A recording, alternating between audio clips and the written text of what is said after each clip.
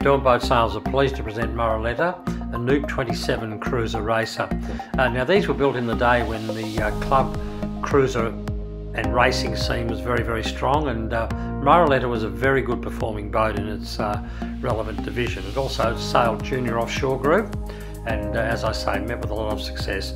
Uh, it's had a couple of owners over the recent years and the current owner is just um, put the boat through a, an intensive refit and it really does look excellent. It's a credit to him and his workmanship, um, the way the boat's presented.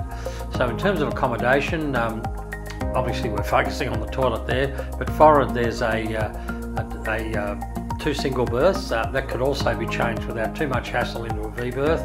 Um, there's a berth off to the uh, port side, a good settee berth. That also uh, gives uh, good seating in the saloon area. Small nav area, you could actually put a table into that, and very, very good storage aft. Um, the motor is an 8 horsepower Yanmar and that provides up to about 5 knots cruising. It's been fully rebuilt by this owner and uh, like the rest of the boat uh, looks excellent. So externally too the boat um, has had a full repaint, uh, lots of nice timber trims added and that really breaks down the, um, the, the, paint if you like uh, with lots of nice varnish highlights. Um, Self-tailing winches as you can see, all the running rigging's been done. Uh, going back to its racing heydays, there's approximately 15 sails with the boat, so huge sail wardrobe.